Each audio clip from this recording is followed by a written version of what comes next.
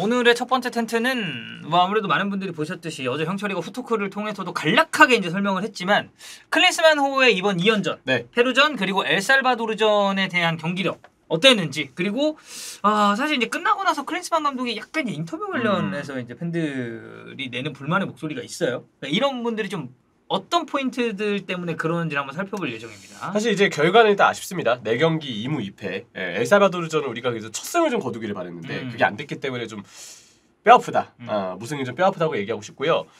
내용을 사실 얘기해야 됩니다. 경기 내용적으로 우리가 어제 제가 입중계도 하면서 이제 전술적인 얘기도 했지만 음. 경기 내용적으로 사실 아쉬운 부분들이 좀 느껴졌거든요. 아쉬운 부분을 그래서 쭉 얘기하기 전에 좀 나아진 부분에 대해서 먼저 좀 얘기를 할게요. 음. 이 분량이 상대적으로 짧으니까. 음. 나아진 부분은 제 생각에 페루전보다 나아진 부분이 좀 유연해지기는 했다. 일부 유연해진 부분이 있었어요. 그 유연해진 부분이 뭐냐면 예, 페루전은 시작할 때 원두재 선수만 원볼란치에 혼자 두고 음. 황인범 선수는 공격 가담을 시켜서 센터백 두 명의 원두재 2-1 형태 빌드업이었습니다. 음.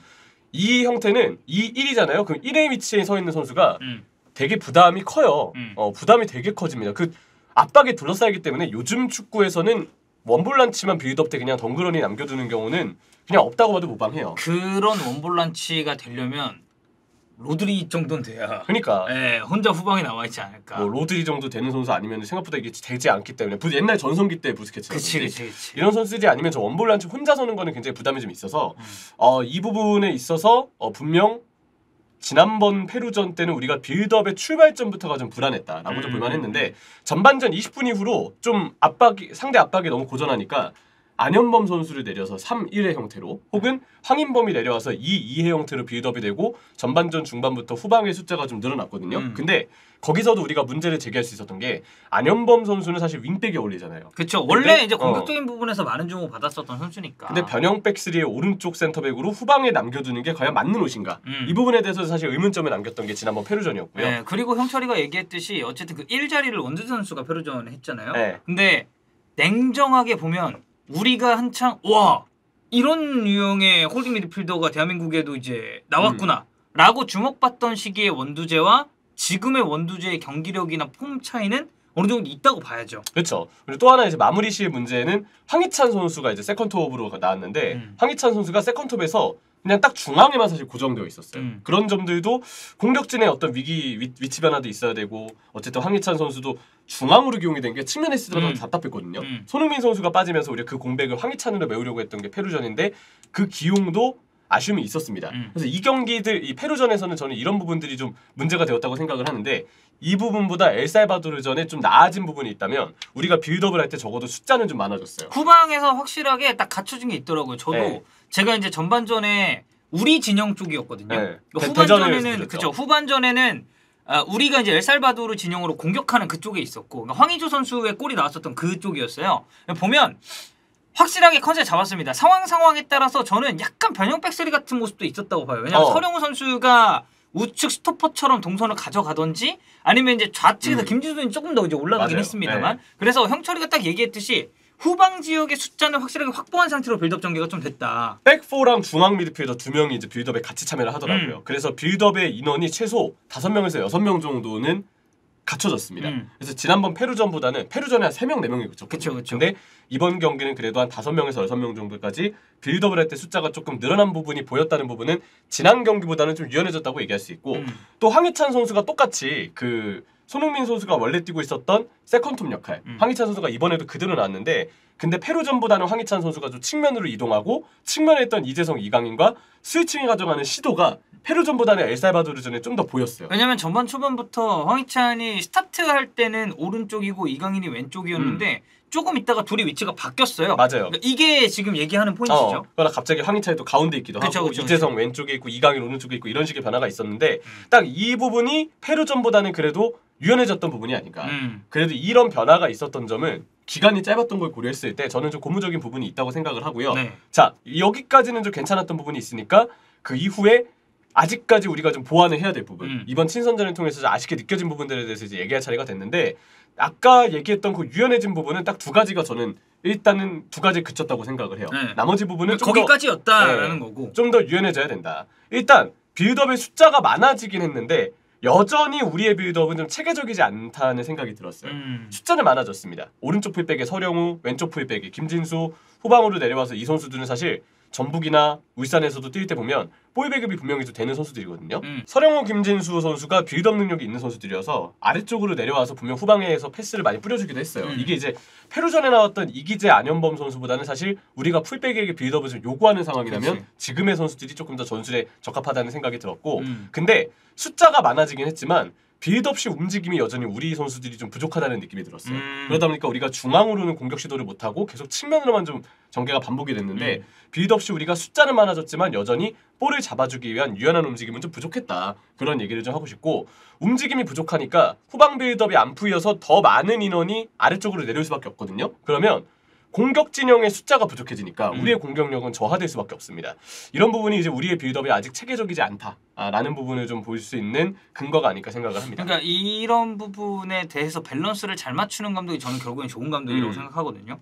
후방 빌드업에 많은 숫자가 참여를 하면 자연스럽게 공격 숫자는 줄어들 수밖에 없는 거고 네. 공격에 많은 숫자가 참여하게 되면 우리가 아까 얘기했듯이 페루전처럼 후방에서 빌드업하는 숫자가 적다 보니까 음. 약간의 불안정성을 가지고 있는데 이것의 밸런스를 어떻게 맞출 거냐 그리고 빌드업을 하는 과정에 있어서의 라인과 라인 사이의 간격을 어떻게 조정을 음. 할 거냐 이제 이런 부분이 앞으로 대표팀에게 있어서 조금 더 나아져야 할 포인트들이라고 볼 수 있겠죠. 그렇죠. 선수를 좀 적게 두어도 움직임에 체계가 잡혀 있으면 약속된 형태대로 상대 압박을 풀어내고 음. 간격을 벌릴 수 있잖아요. 그러면 빌드업에 지금처럼의 인원이 다 투입되지 않아도 어느 정도 경기는 풀릴 수 있어요. 음. 네, 그렇기 때문에 지금은 우리에게 좀 더 빌드업의 체계, 움직임이 필요하다는 얘기를 하고 싶고요. 두 번째는 중앙의 활용이 부족했다. 측면으로 좀 볼이 많이 돌긴 했어요. 네. 이재성 선수와 이강인 선수를 측면 윙으로 기용하는 것에 대한 좀 본질적인 아쉬움이 좀 있거든요. 음. 물론 이번 경기는 황희찬하고 스위칭을 하면서 둘 중에 한 명이 번갈아 가면서 안쪽으로 들어오긴 했어요. 음. 근데 어디까지나 스위칭을 통해서나 이제 안쪽에 들어오는 거지. 엄연히 따졌을 때 이재성과 이강인이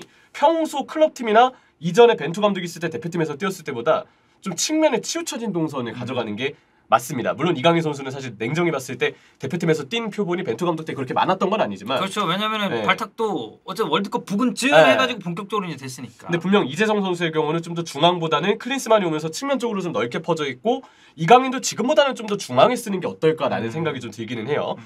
일단 황희찬 선수의 스위칭을 통해서 나름 이 선수들이 중앙으로 좀 들어오게끔 시도하는 모습들도 있었고 또 하나는 김진수, 서령우 좌우 풀백의 공격 지원도 페루전보다는 저는 더 활발하고 좋았다고 보거든요. 그러니까 이 두 선수가 음. 가진 장점 중에 하나는 저는 공수 그러니까 김진수 선수는 저는 조금 더 공격적인 성향이라고 네. 보긴 하는데 서령우 선수 같은 경우 전 공수 밸런스가 적절하게 잘 잡혀 네. 있다고 생각하거든요. 볼 배급도 잘하고 안쪽으로 들어오는 그 움직임도 좋아요. 좋아. 네. 그래서 설영우가 중앙으로 들어왔을 때 조금 더 우리 윙어가 폭을 벌릴 수 있고 네. 아니면 설영우가 폭을 벌렸을 때 우리 윙포워드들이 중앙으로 들어오는 시도가 음. 많아지니까 전 여러모로 좋은 툴을 가진 선수들이라고 생각합니다. 그래서 저는 우리 풀백 때 만족스러웠습니다. 예, 김진수 선수가 이제 너무 크게 다친 것 같아서 좀 빠른 부상 회복을 좀 바라고 네.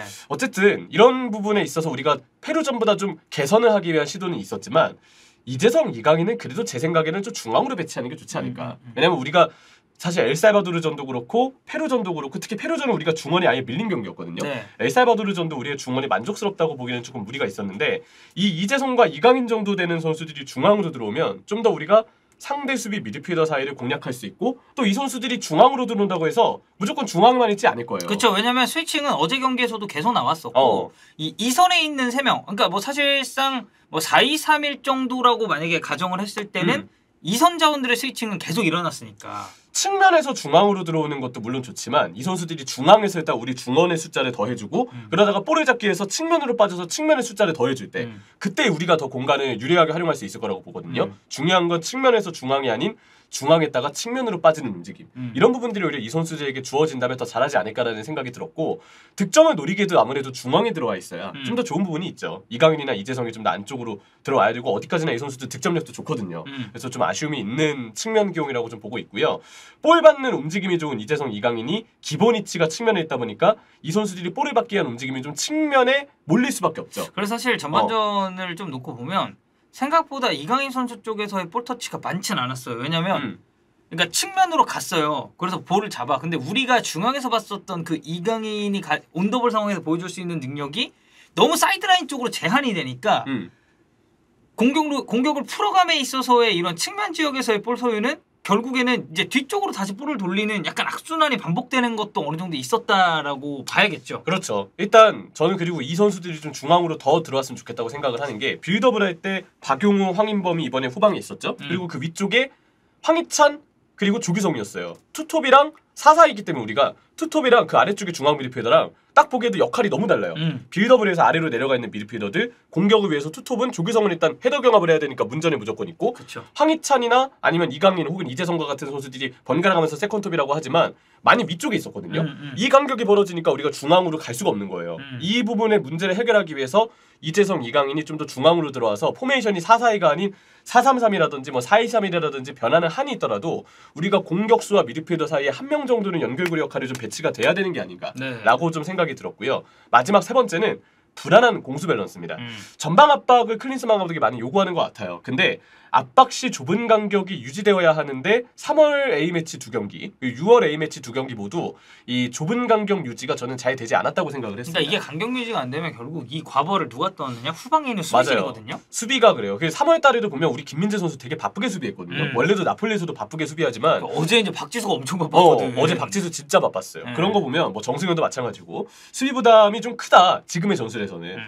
스쿼드 문제도 물론 우리에게 있었습니다. 일단 우리나라 대표팀의 현재 선수들 뎁스를 봤을 때 정우영 선수와 손준호 선수가 없는 상황에서 아직까지는 수비형 미드필더에 성인 대표팀이 믿고 쓸 수 있는 자원이 좀 부족해 보이는 건 사실이에요. 음, 음, 음. 뭐 이제 이 아시안 게임 대표팀에 아마 승선이 유력한 김봉수 같은 선수들이 이제 새롭게 떠오르고 있는 얼굴들이긴 한데 아직 성인 대표팀까지 올라오지 않으니까 그치. 그러다 보니까 이 수비형 미드필더의 부재가 이번 엔트리에서는 분명 어, 크게 다가오긴 했거든요. 그래서 음. 수비 커버에 장점이 있는 선수가 없었던 점은 우리가 이번에 수비 중원에 있어서 간격이 벌어지는데 악영향을 준 요인으로는 볼 수가 있습니다. 네. 스쿼드 문제도 있었고 또 하나는 클린스만의 문제도 분명히 있어요. 클린스만의 문제는 그런데도 4-4의 flat 시스템 전술을 어쨌든 어, 유지를 했거든요. 음. 근데 지금 우리가 수비형 미드필더가 마땅치 않고 중앙 미드필더진도 좀 불안한 상황에서 과연 미드필더 한 명을 줄인 4-4의 flat 시스템으로 포메이션을 짠 게 과연 맞는 전술이었을지. 그러니까 우리한테 맞는 옷이냐 네. 이 얘기죠. 그렇게 봤을 때는 좀 6월 A매치 두 경기에서의 4-4의 기용은 특히 정우영과 손준호가 없었기 때문에 더 아쉬웠다고 생각을 하고요. 음. 엘살바도르전은 특히 첫 승을 노렸어야 됐잖아요. 그쵸. 그, 그래서 왜 승리가 없었으니까 3월 어. 두번 그리고 6월에 페루전 어제 졌고 맞아요. 저는 뭐 4-4에는 이제 감독의 뭐 철학이니까 그렇다 치더라도 음. 그래도 우리가 어쨌든 엘사바도르전에 황희주 선수의 선제골로 음. 1대 0으로 이기고 있었으면 한 80분 대 중반쯤 혹은 80분 대 초반쯤 그때쯤부터 우리가 약간 불안함이 있었거든요. 맞아요. 그때 우리가 좀 이기기 위해서 미드필더를 강화하는 교체를 차라리 일찍 했으면 어땠을까라는 생각도 들더라고요. 음, 그러니까 이거를 중원을 좀더 네. 두텁게 하는 선택을 했었다 했어야 음. 된다는 얘기죠. 아무리 평가전이라고 해도 이 타이밍에는 사실 클린스만 감독도 또 음. 보는 팬들을 위해서라도 첫 승은 해야 됐어요. 음. 그래서 이번 엘사바도르전이 무조건 평가전이지만 저는 그래도 이겨야 됐던 경기가 아닌가 싶은데 네. 그렇다면 좀 더 첫 승을 노골적으로 노린다는 이유에서라도 미드필더를 강화해서 막판 시간대 엘살바도르가 공격적으로 나올 때는 우리도 좀 밸런스를 잡는 교체를 해야 됐다고 보거든요. 근데 우리가 마지막 10분의 그 후방의 상황을 보면 너무 어린 선수들만 있었고 그렇죠. 왜냐면 홍현석 들어갔고 박규현 어. 선수도 어, 투입됐고 뭐 박규현 선수 맞아요. 마찬가지고. 네. 예. 그 선수도 있고 뭐 그리고 아무래도 설영우 선수도 대, 대표팀 데뷔전이었는데 그래 첫 어. 선발로 어제 나왔단 말이야. 대표팀 경험이 부족한 선수들 그리고 어린 선수들 이렇게만 후방에 짜여져 있다 보니까 손흥민 선수가 필드에 들어와 있었다고 해도 우리 후방 자체는 사실 숫자가 더해지지 않은 상황에서 이거 불안할 수밖에 없었어요. 음. 그 상황에서 우리가 어, 상대의 어떤 템포에 말려들고 실수가 나오면서 결국은 어 리드를 결국 빼앗기고 말았다. 음. 실수에 의해서 세트피스를 주고 거기서 실점이 나왔기 때문에 우리가 여기서 첫 승을 뭔가 이루기 위한 경기 운영을 해주지 못한 부분 이런 부분에 있어서는 이번에도 클린스만 감독의 밸런스를 좀 놓친 부분이 아닌가 싶어서 굉장히 좀 아쉽게 다가왔던 게 사실이었습니다. 자 클린스만 인터뷰는 사실 우리가 어쨌든 이 경기는 평가전이니까 음. 저는 평가전이고 첫 승을 못 거둔 것에 대해서 팬들의 어떤 실망이 많은 상황에서 음. 그래도 크리스만 감독이 이 경기가 평가전이고 우리에게 어떤 목적이 있었으며 음, 음. 이 경기 운영을 통해서 어떤 걸 느꼈는지를 잘 얘기해 주면 저는 그러면 그래도 좀 어느 정도 수습을 할 수 있었을 거라고 음. 생각을 했어요. 근데 인터뷰 내용은 개인적으로 느꼈을 때는 조금 실망스러웠습니다. 근데 아마 대부분이 그렇게 생각하시지 않을까 싶긴 해요. 인터뷰 내용을 일단 좀 쭉 읽어드릴게요. 어, 네. 내용을 쭉 읽어드리면 경기 결과를 가져오지 못해 상당히 아쉽다. 세트피스에서 실점에 화가 나는 부분도 있다. 그렇죠. 이게 어쨌든 우리 입장에서는 잘 막다가 결국은 음. 한골 내준 거니까. 네골 이상 득점 기회가 있었는데 이를 살리지 못했다. 아, 여기까지도 뭐 틀린 네. 말은 아니죠. 네. 3월의 경기력이 훨씬 좋았다. 아, 이번엔 소집 때부터 많은 변화가 불가피했다. 부상 등으로 선수가 많이 바뀌었는데 특히 수비는 다 바뀌었다. 과제를 안고 시작했는데 결국 과제를 남겼다. 그러니까 어쨌든 이 수비 같은 경우는 이제 김재 선수가 군사훈련 때문에 빠져 있다 보니까 음. 이 주축 중심을 잡아줘야 될 선수가 바뀐 상황이고. 네. 근데 저는 개인적으로 박지수 선수는 이게 유럽 무대의 경험이 이 선수에게도 엄청나게 좀 득이 되지 않았나. 김민재 선수가 이번에 없었잖아요. 음. 근데 박지수 선수가 약간 김민재 롤을 부여받은 느낌이 좀 들었어요. 맞아요, 어, 맞아요. 되게 넓게 커버를 해줬고 자 이어서 그 기자분께서 빈공에 대한 해결책, 그 공격력이 좀 아쉬운 부분에 대한 해결책을 클린스만 감독에게 물어봤을 때 클린스만은 음. 훈련을 더 많이 하면서 선수들에게 골을 넣을 수 있다는 믿음을 주는 방법뿐이다. 황의조와 조규성은 K리그에서 경기력이 올라오기까지 긴 시간이 걸렸고 오현규는 셀틱에서 주전으로 뛰지 못해 90분 동안 경기력을 유지하는데 애를 먹은 부분이 있었다. 이번엔 부상으로 많은 시간을 소화하지 못했지만 지금 우리 팀에서 90분을 지속해서 뛸 수 있는 공격수는 손흥민뿐이다. 어 이거는 조금 저 아쉽다고 보고 좀 추후에 얘기하겠습니다. 네. 투톱에 대한 생각에 대한 질문도 있었는데 손흥민의 몸 상태와 관계없이 예전부터 염두에 둔 포지션이다. 음. 투톱은 투톱을 세우면 득점할 가능성도 더 커진다. 수비적으로 내려서는 팀을 상대할 때도 도움이 될 것이다. 음. 손흥민에게 공격형 미드필더 아마 이거는 second top일 것 같아요. second top을 맡길 생각도 있다. 이강인과 호흡이 위해서라면 더 공격적인 경기 운영도 가능하다라고 네. 클린스만 감독이 인터뷰를 했죠. 이게 뭐 전부는 아니에요. 그래서 저희가 이제 좀 필요한 부분만 가지고 지금 온 상황인데 네. 음, 어, 여기서 이제 좀 아쉬운 것은 자 빈공의 해결책이 뭐죠? 아, 훈련을 더 많이 해서요. 네. 선수들에게 골을 넣을 수 있다는 믿음을 주는 방법이 있습니다. 네. 이게 옛날에 그 약간 그 필립람 인터뷰가 좀 생각나는 대목이긴 해요. 라마 들어봐라. 네. 너는 골을 넣을 수 있고 음. 너는 문전에 가서 득점을 할 수 있다. 네. 어. 체력 훈련만 열심히 하자. 어. 네. 그런 것처럼. 그래서 저는 이번 인터뷰가 좀 아쉬운 이유는 부진했던 경기 내용에 대한 언급이 좀 부족했던 거. 음. 우리가 이런 부분에 문제점이 있고 다음에 보완하겠다라는 얘기를 감독 선에서 했으면 아 뭔가 실험을 하려고 했는데 뜻대로 안 된 게 있구나. 음. 그래도 클린스만 감독이 이 문제를 인지하고 있구나. 그러면 감독에 대한 믿음을 결과가 안 좋아도 우리가 좀 가질 수 있거든요. 저는 이제 벤투 감독에 대해서 항상 긍정적으로 바라봤었던 건 뭘 하는지가 확실하게 보였고 이 감독의 철학 뭐 혹자는 그걸 이제 고집이라고 표현을 하기도 어. 했었죠. 이 고집이 강한 감독인 건 맞아요. 그런 길이 보였기 때문에 음. 어뭐 그래 뭐 시행착오일 수 있겠다. 약간 돌아가는 길일 수 있겠다라고 생각을 했는데 클린스만 감독은 이제 그런 부분이 좀 명확하지 않다라는 네. 얘기죠. 솔직히 웬만한 축구 지도자들은 다 고집이 있어요. 맞아요. 아니, 고집이 고집 없는 지도자가 지도자를? 네, 고집 없는 지도자는 없어요. 결국 음. 그 부분에서 얼마나 자신의 어떤 그 철학과 생각을 적절한 근거를 들어서 팬들에게 납득을 시키느냐가 중요하다고 음. 보는데 그게 되는 감독과 조금 아쉬운 감독들이 있는 거죠. 음. 어쨌든 클린스만은 좀 그 부진했던 내용에 대한 언급이 부족했던 건 아쉬웠고 공격력과 경기력 개선에 대한 대답이 많은 훈련과 소속팀에서의 꾸준한 출장 이 두 가지를 지금 얘기하기에는 지금 그렇게 좋은 타이밍은 아니에요. 그러니까 이게 어. 네 경기째 어쨌든 우리가 좀 만족하지 못할 만한 결과와 경기력이 음. 나왔잖아요. 근데 이거에 대한 해결책을 아 뭔가 우리가 뭐 훈련을 통해서 이런 걸 개선을 한다든지 음. 그런 게 아니라 그냥 훈련 많이 하고 네. 뭐 소속팀에서 많이 뛰면 음. 90분 뛸 수 있는 선수들이 많아지지 않을까. 아. 약간 이런 뉘앙스였다는 게 좀 아쉽죠. 이거는 이제 본질적 해결책을 찾았다 보기에는 좀 어려운 내용이기 음. 때문에 아쉬웠고요. 세 번째, 투톱에 대한 전술을 앞으로도 고수할 것 같은 것도 아쉬워요. 음. 예, 왜냐, 투톱을 쓰면서 중원 경쟁력이 최근에 좀 약해졌다고 생각되는 이번 클린스만 감독의 대표팀이거든요. 음. 근데 아까 투톱에 대한 생각을 물어봤을 때 투톱을 세우면 득점할 가능성도 더 커진다. 음. 그리고 앞으로도 그 투톱이 득점을 위해서 염두에 두고 있는 포지션이라고 얘기를 했기 때문에 지금 중원의 소리가 문제가 있는데도 불구하고 계속 투톱에 대한 고수가 좀 있지 않을까. 음. 그런 부분도 좀 염려가 되는 이번 인터뷰 내용이었습니다. 네, 뭐 어쨌든 경기력적으로도 그렇고 어전에 결과도 생기지 못했는데 막판에 이제 또 실점하면서 음. 승리도 날아가서 뭐 여러모로 아쉬운 점이 많았었던 대표팀이지만 뭐 이제 좀 그런 거죠. 어 인터뷰도 아쉬운 포인트가 분명 있는 건 사실이나 이제 네 경기 했고 네. 그리고 앞으로 이 클리스만 체제 아래서 발탁될 선수들 그리고 이제 이번 A 매치를 통해서 좀 새롭게 등장한 얼굴들 이런 선수들이 조금 더 나아질 만한 저는 여지는 충분하고 좋은 선수들이라고 음. 생각을 하기 때문에 어, 일단은 조금 더 지켜봐야 되지 않을까. 맞아요. 일단 평가전이잖아요. 네, 어, 평가전이잖아. 첫, 승, 이 나오지 않은 건 아쉽지만 네. 9월에 좀 더 나아진 모습을 보여주기를 기대하면서 네. 예, 일단 기다려보고 그러니까 저희가 항상 네. 얘기하잖아요. 3월은 클리스만 감독의 의중이 많이 담기지 않은 담기지. 예, 네. 발탁이었고 음. 6월이 이제 진짜 클리스만 감독이 보고 아 얘 괜찮겠다라고 점검한 선수들을 뽑은 거고. 네. 근데 여기서 이제 이런 경기력이 나왔다는 건 이제 9월에 조금 더 증명을 잘 해줘야겠죠. 맞아요. 네. 9월에 증명해주기를 기대, 기대하겠습니다. 네.